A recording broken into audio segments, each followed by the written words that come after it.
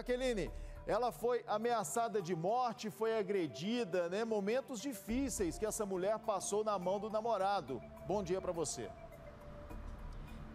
Bom dia, Marcelo. Bom dia, amigos de casa. Exatamente. Momentos tensos essa mulher passou. Ela tem 47 anos, o namorado tem 36 anos.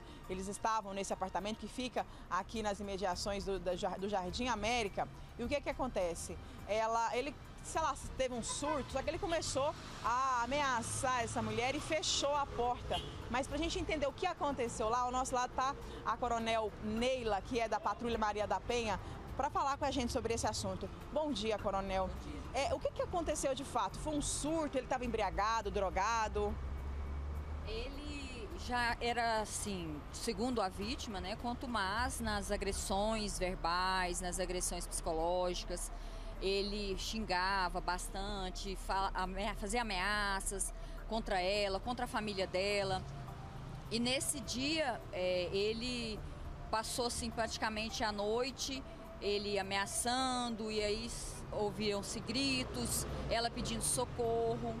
É, e várias situações que levaram ela a chegar ao limite e aí fazerem a denúncia com relação à situação dela por conta de medo dele fazer uma coisa pior com ela. Foi a primeira vez que ele ameaçou ela? Segundo ela, não. Segundo ela, ele era contumaz em fazer é, ameaças e dizer que iria fazer alguma coisa contra a família e contra ela. Chegou pra gente que ele fechou a porta com três fechaduras e começou a ameaçá-la de morte.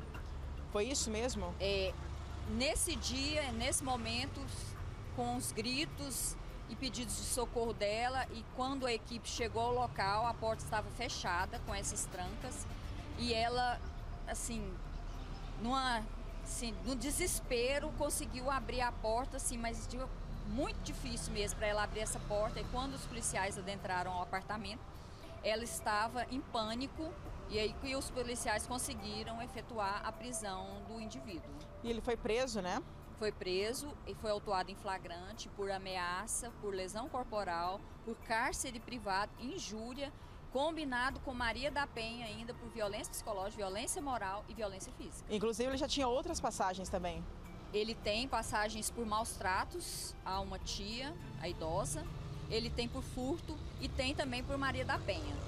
A gente sabe que tem outras mulheres assistindo a gente agora e pensando, é a situação que eu vivo, né? Mas isso pode chegar ao fim, né? O que, que essa pessoa pode fazer? Denunciar.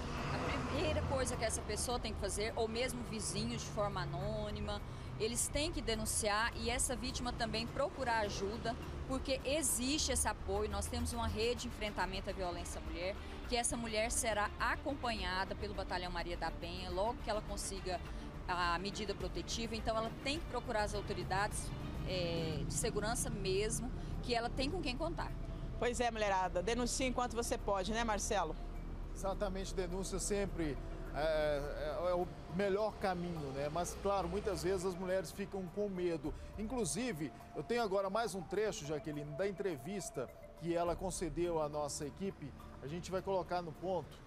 Peço você, telespectador, né, preste atenção nessa, nesse trecho aí, na fala dessa mulher. Pode rodar. Já é a segunda vez que uma polícia que tira ele aqui à força, mas eu já tive coragem,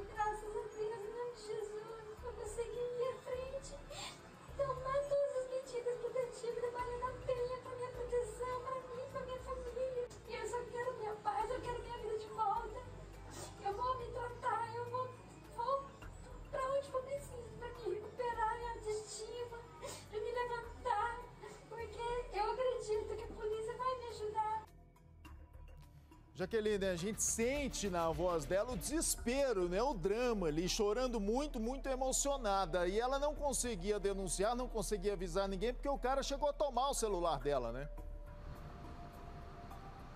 Pois é, essa estratégia de tomar o celular é bem comum, bem corriqueira, né?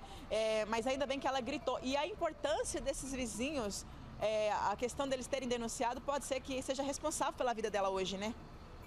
Com certeza, Jaqueline, porque é aquela história. Às vezes a mulher com medo né, da reação do, do agressor, ela não tem coragem de denunciar. Aí a importância de vizinhos, amigos que sabem e tomam conhecimento da situação fazerem a denúncia. Porque Pois- pode evitar o feminicídio. Exatamente. Se você não denuncia, um dia ele ainda te larga, casa com uma outra e a, a outra vai denunciar, porque é um ciclo que não acaba nunca, a não ser que a pessoa queira em Deus, né, Marcela? Caso contrário, é difícil. É uma pessoa que agride parar de agredir a primeira mulher.